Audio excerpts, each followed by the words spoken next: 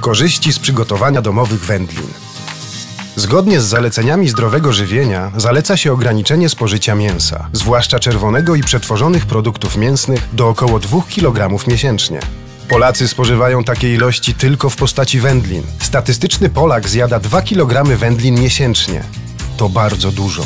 Najlepszym rozwiązaniem jest ograniczenie spożycia czerwonego mięsa i jego przetworów.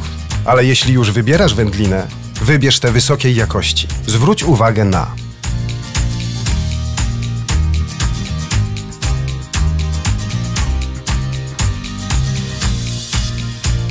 Jak je znaleźć? Przede wszystkim przyglądajcie się dokładnie etykietom z tabelami wartości odżywczej.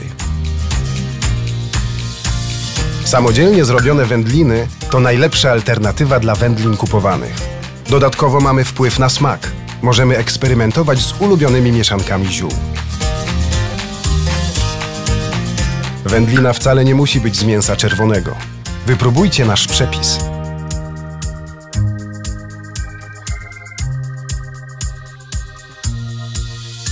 Dlaczego tak bardzo zachęcamy do przygotowywania wędlin w domu?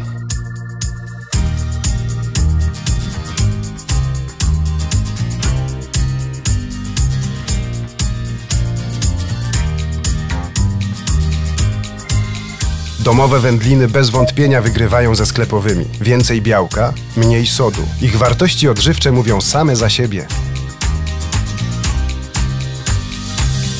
Własne wędliny to sprawdzony przepis na lepszą dietę.